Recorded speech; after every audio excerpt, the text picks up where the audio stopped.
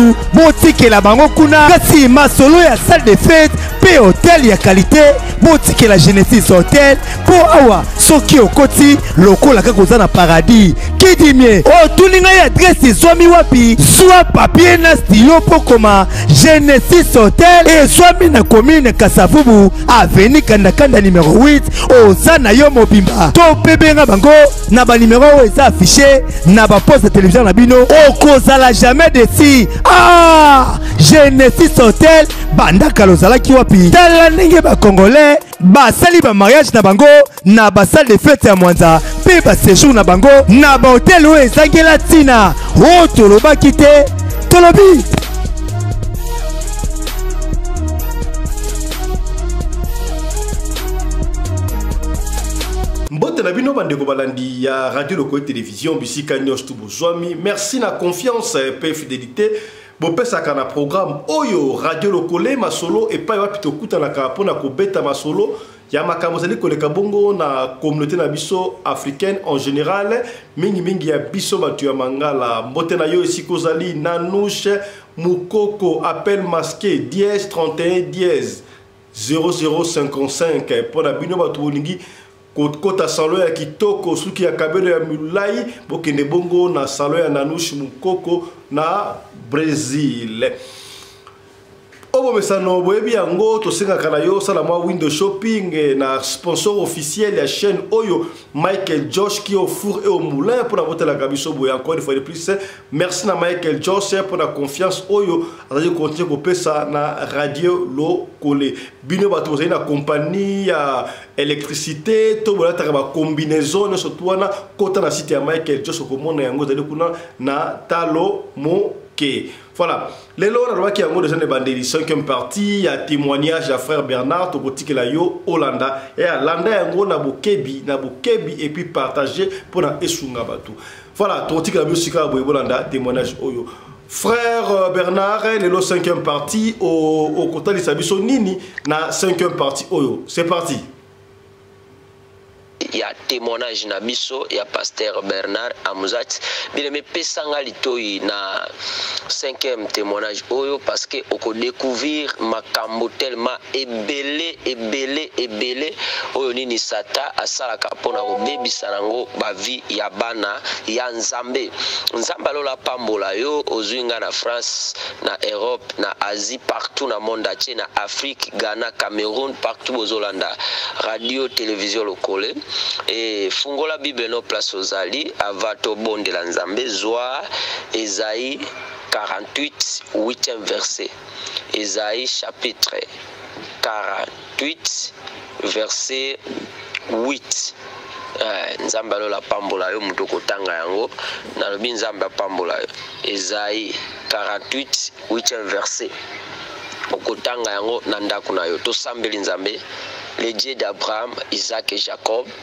Je dis une fois merci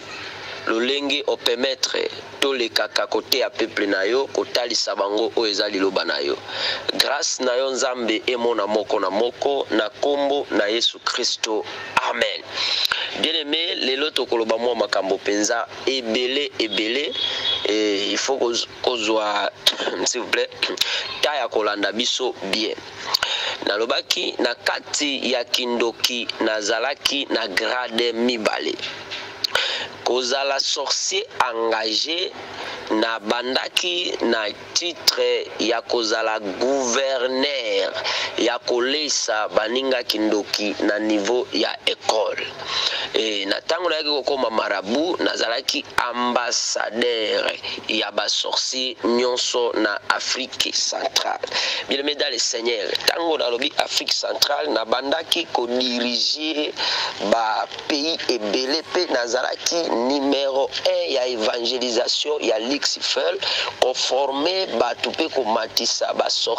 officier grade soki aza na fonction ya moke nazalaki numero 1 oyo sata atiaki nga comme agent na ye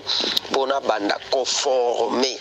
bato bakola na sorcellerie epuis koforme bandoki bakoma ya minene vedi kopesa bango bagrade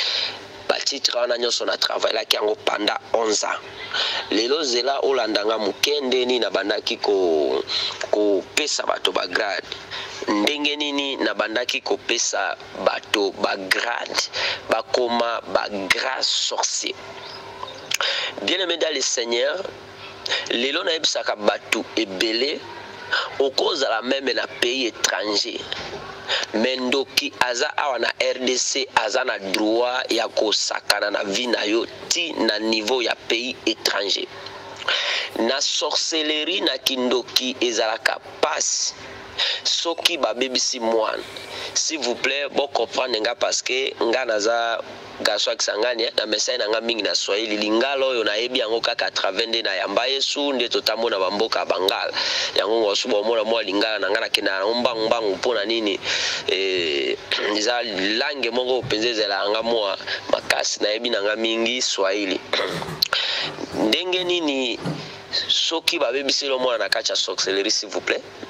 soki babebisi mwana ezalaka pasi epuis sorcellerie ezalaka heritage oyo satan atiaka yango na chaque famille mpo na kobebisa bavie ya motu na kati ya kindoki nazalaki kosala bana nini na ntango na koleisa mwana moko kindoki eloko ya liboso tobandaki koyebisa ye tolobi sala effort oluka moto moko oyo atombwami na famille s'il vous plaît na kati ya kindoki eza na basacrifice oyo ndoki ye moko aponaka kina oboma motu boye eza mpe na bacondition nazali kopesa bango okoki kopesa ofrande ya pamba pamba te ifo nga moko nde na oblige yo nalobi pesanga motu songolo c'est pourquoi bomonaka sat Voilà, mesdames, messieurs, je crois, euh, Bozo Landawana, Bozo Tchaba, j'aime, Bozo partager,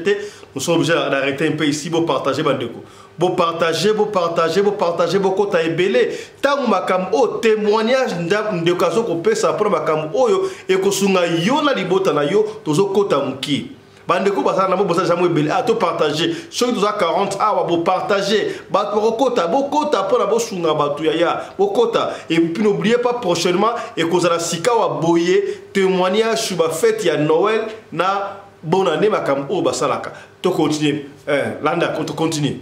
tata aponaka kaka eloko ya motuya na famille yango bomonaka bato oyo batombwamaka na bafamille babundisaka bango bato batombwamaka na famille babomaka bango ava mpo na nini liso ya sata eponaka kaka eloko oyo eza ya motuya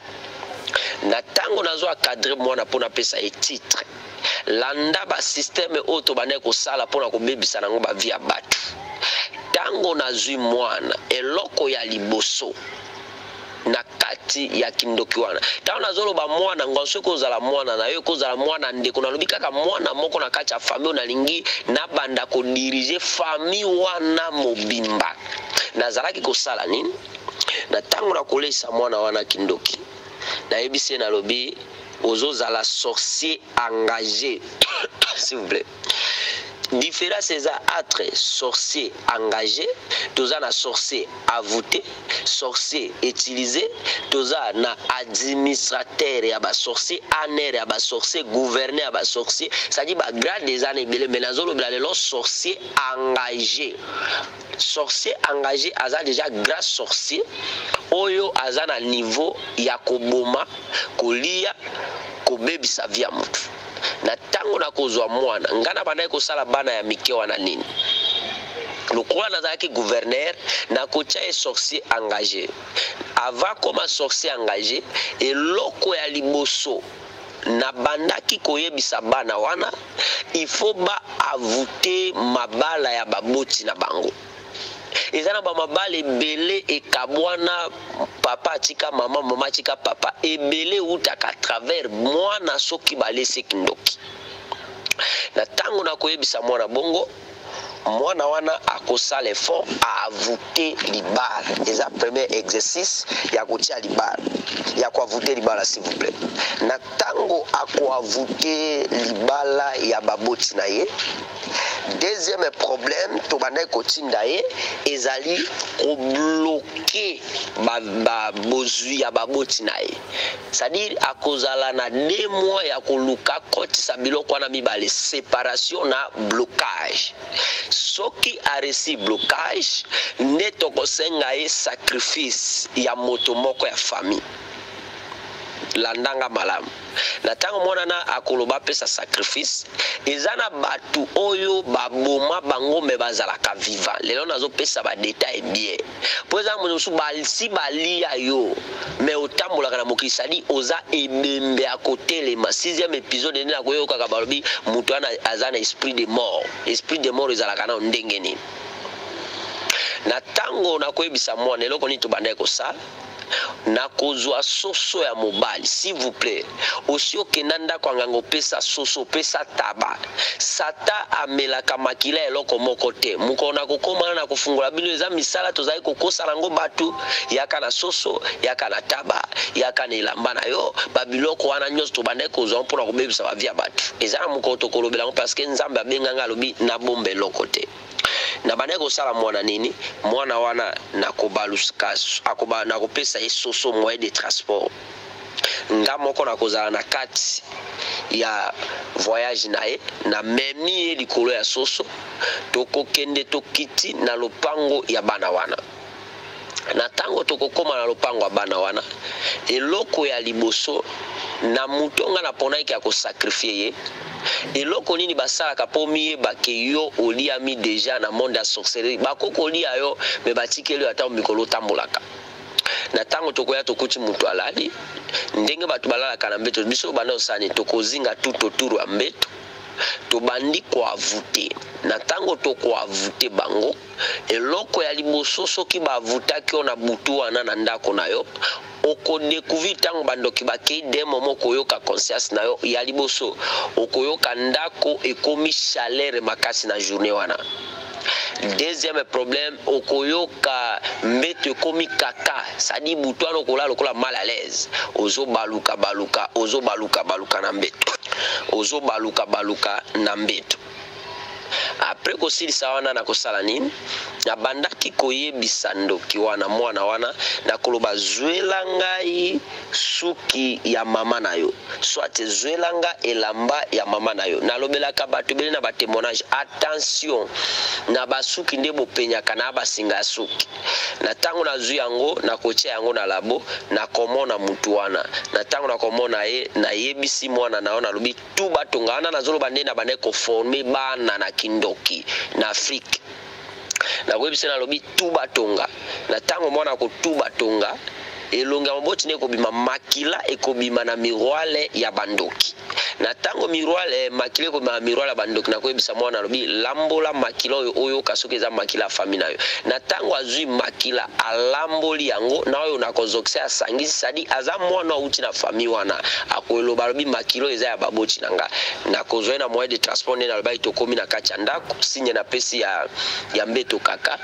nasalaki nini nako kozwa ye nayebisi emema soso amemi soso nasali evocation okomona soso wana ebalukaka formule ya mutu lokola comme exemple nga nde naza boye bayoloka nga na butu na ntango bakozwa soso wana babengi nkombo na ngai na ntango bakobenga nkombo na ngai nakobaluka mutu sikoyo moto alali na mbeto na soso wana ndenge baluki moto eloko nini tobandaki kosala bien meda le seigneur nakoyebisa mwana nalobi zwa eh, papa na yo oyo omemi ye lokola soso wana obalusi ye soso zongisa ye na mbeto Zua papa na yo oyo alali na mbeto mema ye. Na ntango tokoshanze yo, tozwi nzoto na yo, nzoka soso wana tobalusi ye moto, tozongisi ye na mbeto. Na ntango tokozongisa ye na mbeto, eloko nini tosalaka bien aimé dans le Seigneur? Tozongisi moto wana na mbeto. Ntango tozongisi moto wana na mbeto, eloko ya liboso okomona bato wana bazalaka ndenge nini likambo meme eza likambo ya mabe oyebisi eke ndeko na nga eloko oyo ozosala eza mabe ye akoyeba mabe wana te makambo nyonso asalaka omonaka yango bie nzoka aliyama deja na monde ya basorcier na ntango bakolia ye na monde ya bandoki eloko nini yango bakosala na monde ya basorcier moto oyo tozwaki ye lokola eh, oyo tozwi ye mpo tolia ye nga nabandaki kozwa na kozwa loboko ya mutu wana cestadire loboko ya mutu wana oyo baosakrifie ye nde na monde ya kindoki babalusaka yango torche ya bandoki s'il vous plaît nalobi landanga lelo malamu loboko ya mutu wana bakobalusa yango torche ya bandoki nayebi boza partout na monde atie eh, bozolanda emission ya pasteur bernard muzachi loboko wana ekobaluka torche ya bandoki soki ebaluki torche ya bandoki eloko nini ndoki wana akobanda kosala lokola aza na famille ye aza agent numero 1 ya diable oyo apesaka information ya libota na ye mobimba ensemble lokola tobalusi torche torche ya bandoki ezwaka bato ndenge nini soki boza na ndoki si place na ndako boza na ndoki si place na ndako ndoki mpo azwa porte ya koavoute bato mpo azwa nguya ya koloka bato basalaka nini akoki kozala meme awa na, na kisangani ne fixe kaka ke ayeba kombo na yo eloko ya litomba ezalaka kaka ayeba kombo na yo soki ayebi kombo na yo akoki kozwa kwa kombo na nga bernard amuzati se pourkui nayebisaka bato na délivrance ebele mpo ya kobonda ifo nayeba kombo na origine parce que na monde ya succès babebisaka à travers kombo mpo ozala délivre fo kombo na yo wana ifo kobondela koma peut-être kombo basi bazwa bakanga yango na place ya bandoki bakosala nini bien aimé dans le seigneur bakozwa Euh, souple loboko wana babalusi yango torche ye akoki kozala meme awa place oyo nga naza na kisangani eloko nini ndoki yana kosala akoki koloba ke bernard muzati aza na france soit na paris akozwa torche wana abwaki yango apeliseli yo yango na ntango akopelisa yango meme oza na france ye aza awa akomona yo mobimba ndenge olali na mbeto Nzambe ya lola apambola yo moto ozo continue kolanda ngai nalobi nzambe ya lola continue kolanda yo apambola yo moto ozolanda ngai na ntango akozwa torche wana abrake yango torche ndenge abrake yango ekomonisa motu wana na, eh, na peyi oyo azali to na mboko oyo azali na ntango ya komona ye mpo ndoki alonga komona yo te landa nga malamu mpo alonga komona yo te na toshe wana parceke na okotala mwa bozindo wana makasi ndeni bablokaka bavia mutu okomona motu azalaki awa na, na, na kisangani na kinshasa abima akenda pays étranger ubi akenda wapi me vie ezozala kaka mpasi azobunda azwaka te ebongaka te siko awa nde yoka malamu eloko basalaka ntango loboko wana bakobrake bamoni yo torche wana bandoki bayebi vie na yo mobimba na mboka oyo ozali sooyo mpo balonga yo te mpo par suple mpo balonga yo basalaka nini tokoluka ifo to utilize motu wana azala na kanda makasi yango tala malamu na famille no meme bato oyo ofandi na bango na ndako parce que soki boza na sorcier signe mosusu okoyeba yo komona soki kaka pokwa ekoki ozalaka na mwana wana il faut adérange yo sadi faut apesa bino mpasi na motema il faut aloba eloko moko eswa bino parce que soki mutu alali na kanda nazongeli soki moto alali na kanda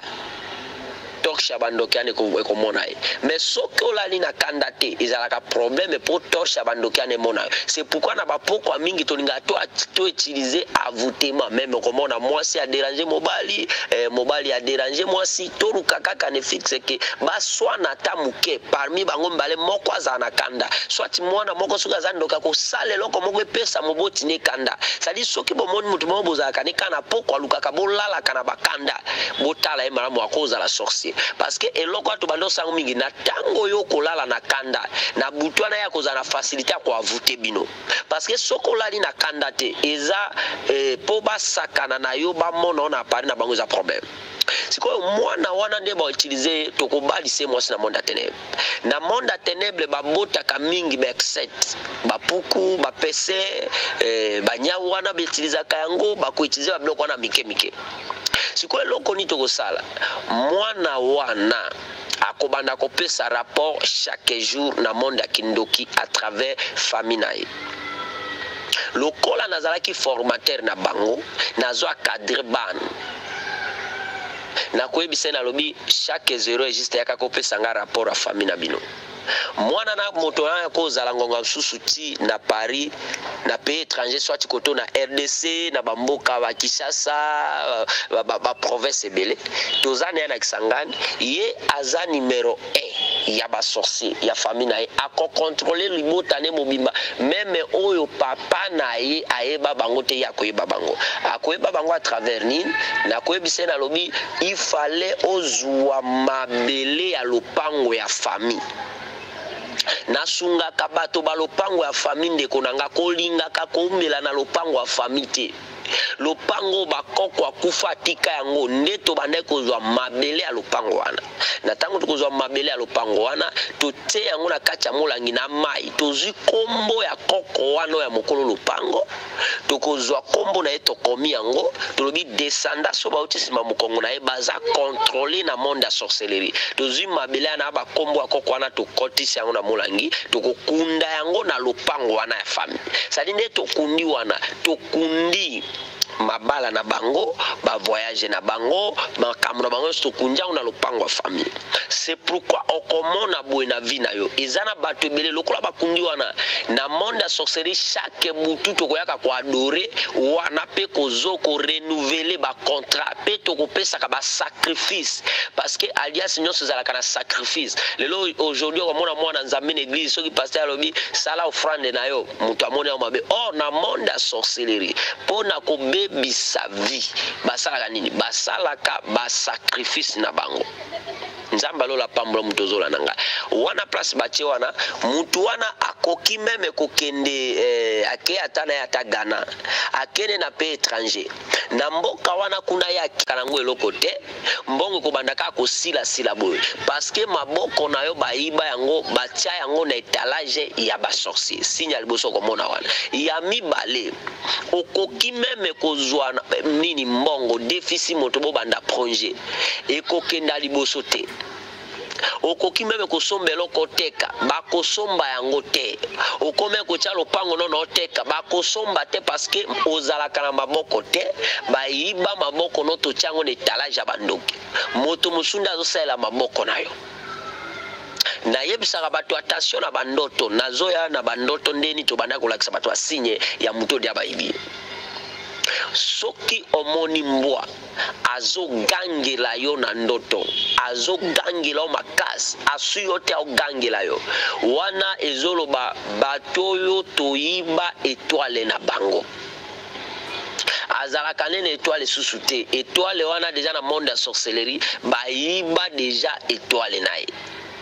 cestadire moto bayibi etoile na ye okomona na vision mbwa azogangela yo parceke mbwa azalaka na miso minei mbwa amonaka bandoki mbwa amonaka baesprit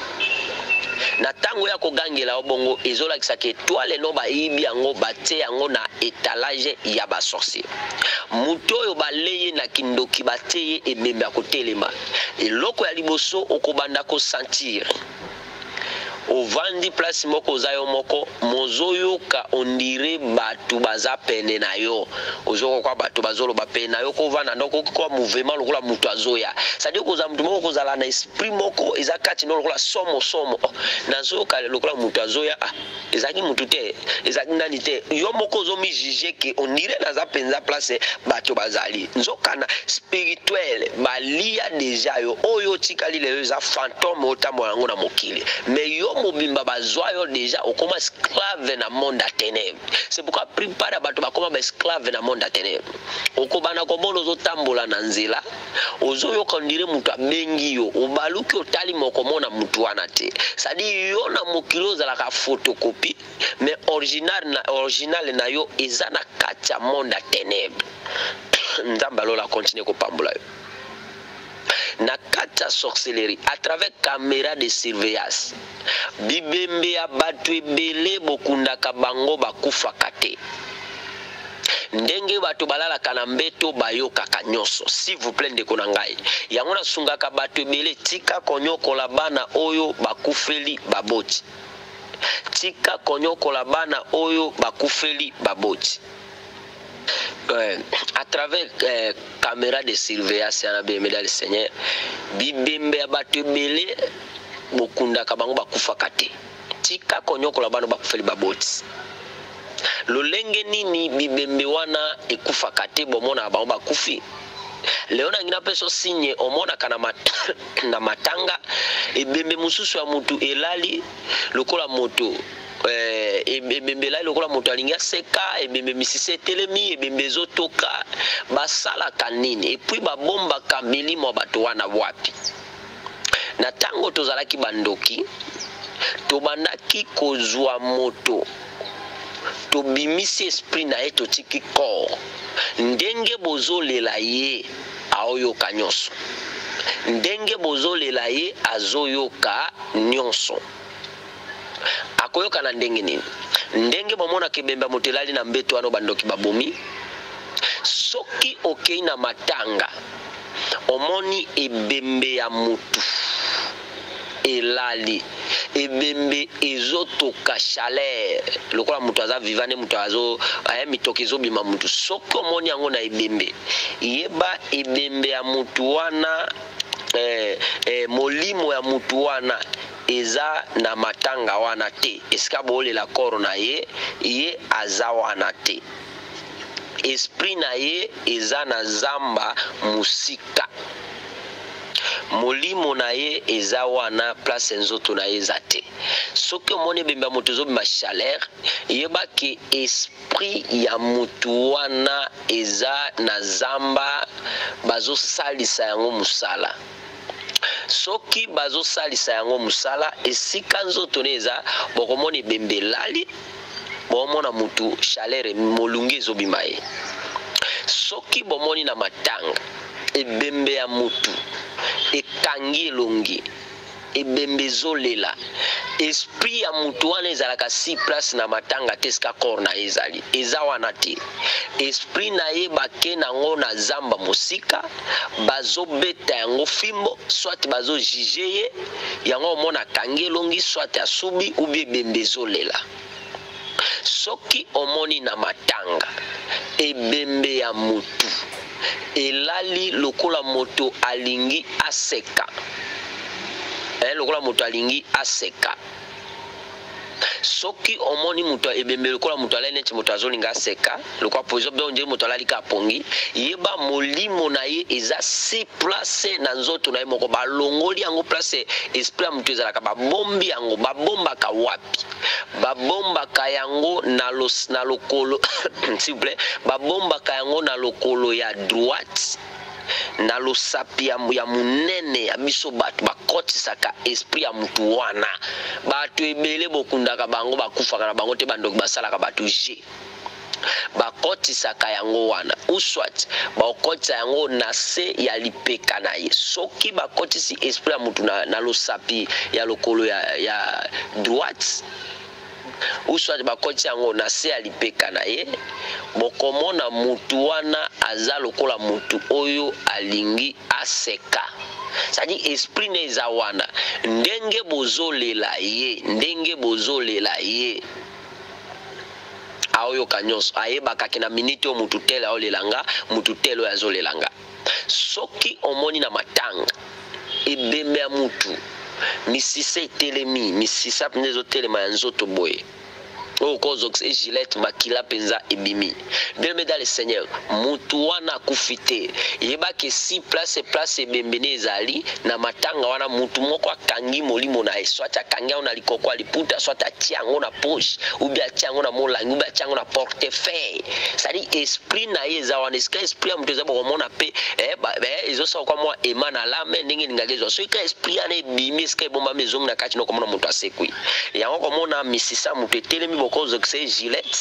omoni mpenza makila ebimi sali molimo na ye eza wana bato ebele bokunda bango bakufa te epuis bato oyo bakendaka konyokwama na deuxième monde ebele meda le seigneur peut-être ndeko no wana baboma ye azosufri na deuxième monde parce que na sixième épisode nakoya siko makambo ba basacrifice oyokaka ngume esanzaka mbongo oyokaka leo bamarabu bakoma koloba bino ya kozwa portefeuille magique okoboma moto te lokuta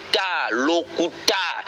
ote euh, ye okosakrifie te lokuta yaya yango eza style soki moto aloba bongo eza style ya magie ya rose croix parce que wana nakoya kofungola magie ya rose croix sata akokabela mbongo ne ya pamba te nzambe nde akabelaka moto ya pamba yaya sepela na sanfra oza nango kolandaka babiloko ozoka yango na bareseau sociau te ndeko na nga nga nasali epai ya sata onza nabebisi bavia bato ebele na kokosa parce que monde ya kimarabutisme eza kokosa ndeko na ngai moko tala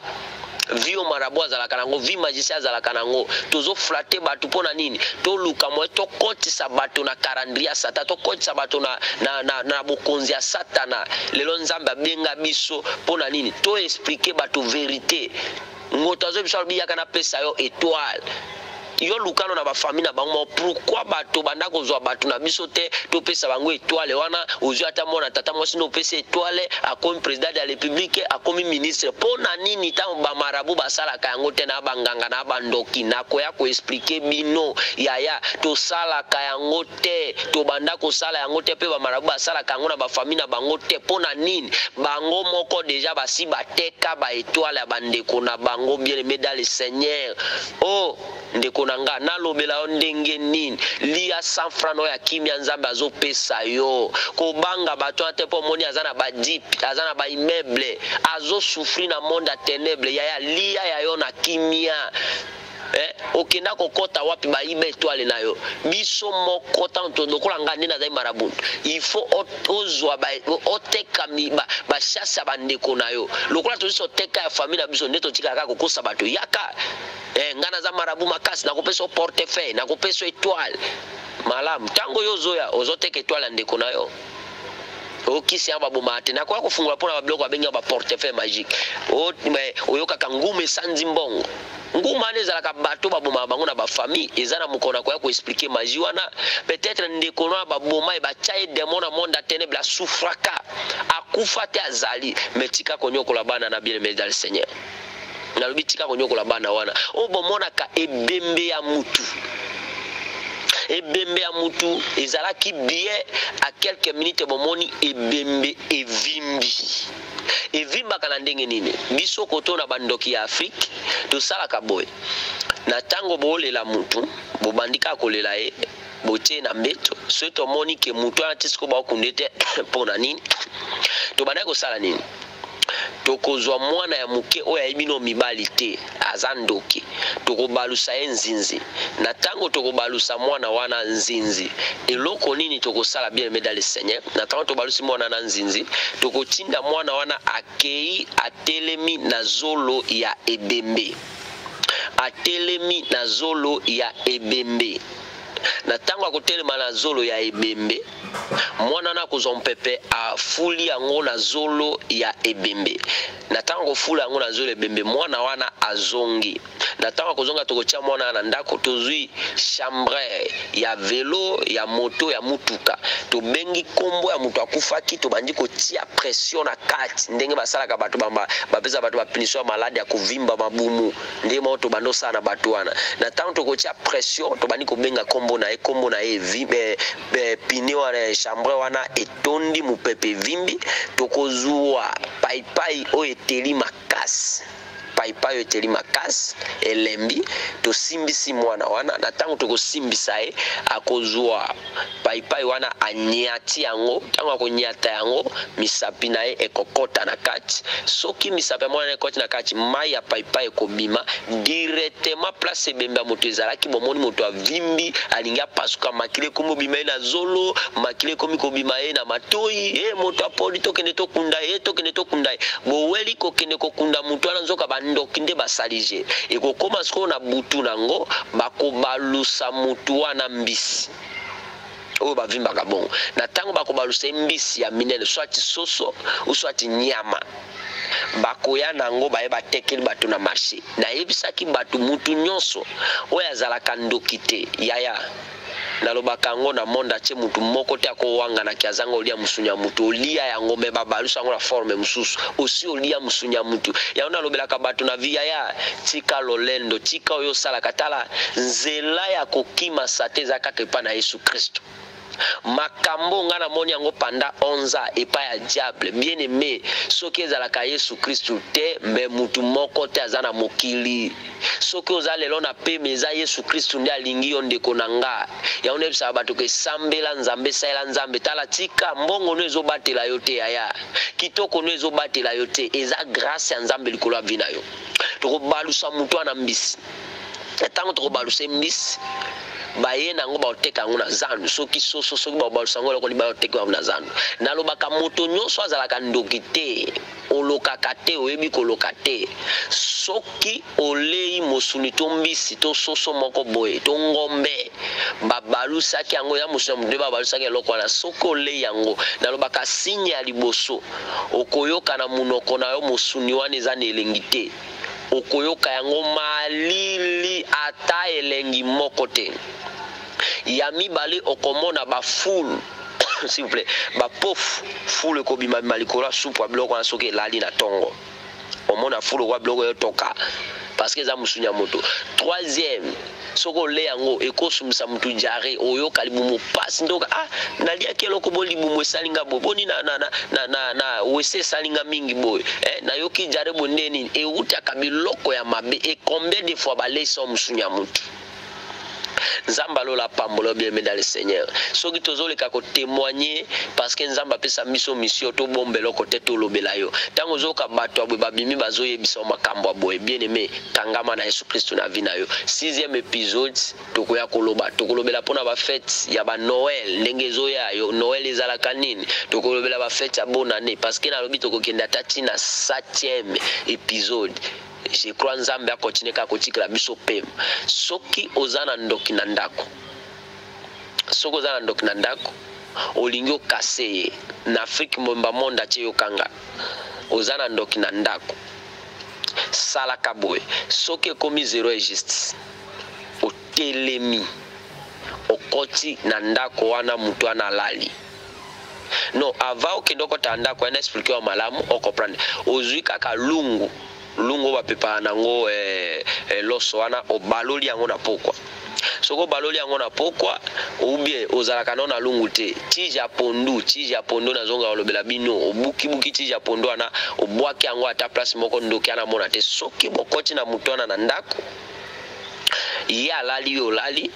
lokola obalusaki lungu ozwi eh, tija me tija pondo bukibuki yango bwaki ndoki ya na moya abima eza te okoyeba yeke aza ndoki ndenge nini okoyeba ye okomona butu mobimba aolala te moto abandi kolobaloba abima libanda avanda na salon akɔta sadi butu wana kozala mala eze mpe bokoyoka butu wana ekozala butu ya evenema soki ndoki ake kobima te okoyoka kwa banyau baolela Niawu ba niawu baolela, okomona ba evenements mystiques pe okoyoka ba ngungi ebele na kati ya ndako. Sadi bo bloquer ndoki ndenge aloka te. Na tango okoyeba ke mutu wana aza ndoki. Tongo etani, jour oyo mosusu zongisa lungu na position ezalaka, longola tige ya pondu wana. Soki olongoli tige ya pondu wana, ekomi zero et juste yo telema. Parce que ndoki akendaka zero et juste ou soit akendaka na ye eh, eh, 23 heures misusu bakendaka na bango banika 23 ekenda eloko ni basalaka nayebisaka bato naki ndoki ndoki abimaka na esprit bongo alataka eloko moko soki omoni pese omoni pese obomi pese wana yebaka ke obomi ndoki obomi puku wana nzinzi wana ngungi eh, bangungi wana basorcier parce que ngungi ya ndoki mpo akufa ezala problème azoya azo avoute yo aye aleli obeta boya fete basinga biso obenga yango bakabe basinga kibuibui na olobela yango lobi singa kibuibui nani na bato biso babenga soki batoi de araigne soki batoi de araigne babenga yango me biso obenga yango kamba kibuibui na kiswahili soki batoi de araigne wana talaka yango na ndako soki omoni yango olongolaka yango ezalaka communication ya réseau ya bandoki mpe soki elato na nzoto nakoya koyebi biso nde nini tokobanda kokotisa bato wana ezala kraka basorsi na ntango omoni puku to pese kotikelaka ye jue abima te parceke eza ndoki mombana abaluki bongo aye mpo na koavute ndako wana na ntango kolongola eh, nini nzete ya pondu wana na lungu na buton ya 0 juste yo tika te koma ta ba 0 20 to 10 telema pete cote kota na ndako ya ndoki wana moto oyokaki asalaki movema wana kota na ndako na ye okomona azwi nzoto atyeli yo na mbeto na ntango akotyeli yo eh, nzoto na mbeto yo okomona kaka nzoto yo moto yo nzoka asi abimi na esprit kala ye akende koloka soki olingi okase ye akɔta te to akufa libela okosala ye ndenge nini yaka kaka na lokolo na ye ya, ya, ya, ya, ya droite na losapi ya mobali ya monene fina ye na losapi wana 3 fois soki ofini ye 3 fois kolamuka te wana aza na ye mosika lokola kolamuka te yo sala nini zua ye soki atyaki moto kote ya, ya este yo kumba ezongisa ye ata na west atiaki na est yo ozongisi ye na west soki ozongisi ye obaloli ozongisi ye kote ya west atiaki na est yo ozongisi motu na ye atie moto kote ya est ozongisi obaloli ozongisi moto kote ya west na ntango 3 ekoka soki alingi ye azonga esprit na ye ekokota te ekotika libanda na ntongo bokokuta koro wana lokola na style ke moto akufi parce que système esalemaka na sorcellerie yango wana nzambe alola apambola yo minite na biso mpe ekei preske na suka continue toujours kolanda batémoignage oyo eh, naza pasteur missionnaire bien aimé dans le seigneur mosala oyo nzambe apesi nga yango yango oyo naza na mosala mosusu te apare kotémoigne koteya bato liloba na nzambe parce que eh, nateyaka liloba na nzambe awa lokola eza nano toza na émission témoignage yango tozotémoignaka nano Nzambe apambola toujours radio oyo Nzambe apambola tout le monde nalobaka soki oza na besoin ya numero na nga okozwa yango à travers journaliste nasi napesaka yango mais okotuna journaliste akopesa yo numero na nga nalingi nabondela mpo na yo Nzambe alola prière na nga ya journée ya lelo ba camera de surveillance nyonso oyo ekameraka bana na yo abima na mboka akenda mboka mosusu camera de surveillance ya bandoki elandaka ye nazikisi yango na nkombo na yesu kristo avutema nyonso basalaka chaque pokwa mpo bana no balala na kanda na butu bayeba koavute bango nalongoli mosika na nkombo na yesu kristo pambola radio oyo chaque fois nalobaka mokolo radio oyo azala beni tombola ye journaliste oyo ayambaka ngai na émission seigneur ye mpe azosala part ya evangelisation olobi esengo na motu nyonso oyo akopanza sango malamu oloba na bayekoli aller partout dans le monde seigneur batela journaliste oyo fisto mosala azosala tombola ye banguna ne bakweya azala toujours likolo anyata banguna na ye na prophétise na ye azala mutu ya etoile kaka ndenge prophète Eli Eliza aloba lobi biloko ekokita talo kapiteni atia tembe prophète aloba okomona yango okolia te mutu nyonso abundisaka bana na yo